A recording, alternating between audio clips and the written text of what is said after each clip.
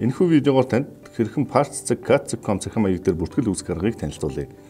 Өөрийн дилерийн тусламжтайгаар parts.cat.com-оор сэлбгээ захиаснаар танд дараах ач тустай.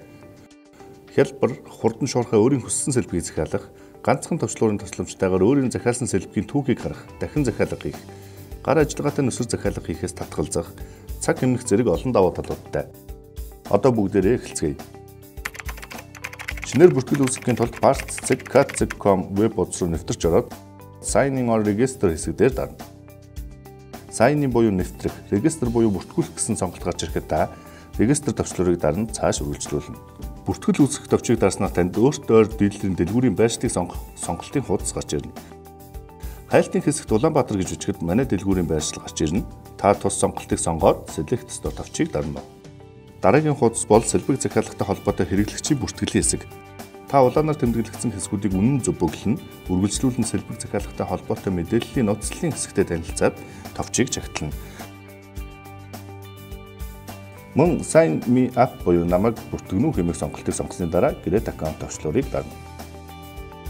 Та Great Account товчлуурыг дарсны дараа баталгаажуулах хуудас нээгдэнэ. Та цаашид нэвтэрч орох имэйл хаягаа оруулаад Continue товчийг дарна.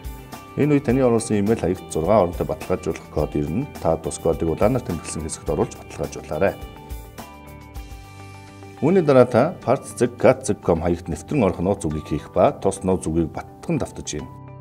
Ингээд та контент товчлуурыг дарснаар таны бүртгэлийг үүсгэх хүсэлт бидэнд ирнэ. Parts.cat.com-ын админаас таны хэрэглэгчийн хаягийг үүсгэсэн тухай захимшуудыг ирсний дараа та sign in register талбарыг бөглөж цааш нэвтрэн орно. Хаяг үүсгэх хүсэлтийг илгээсний дараа ажлын нэгээс 2 өдөрт шийдвэрлэж өгөх болно.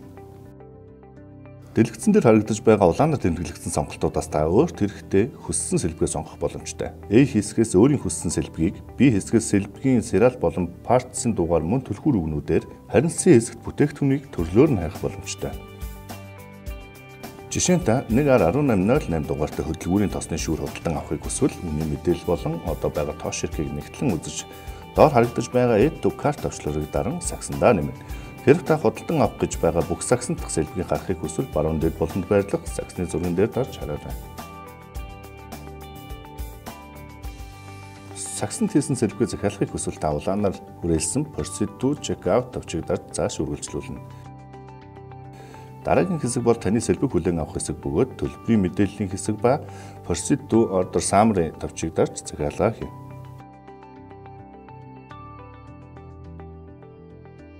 Хамгийн сүүлд сэлбэг захиалгын дэлгэрэнгүй мэдээлэл харуулах тул захиалга баталгаажуулахын өмнө нэгтэл шалгана. Хэрэг мэдээлэл үнэн зөв бол улаанаар дугуулсан товчийг дарж захиалга баталгаажуулаарай. Parts.cat.com таны онлайн дэлгүүр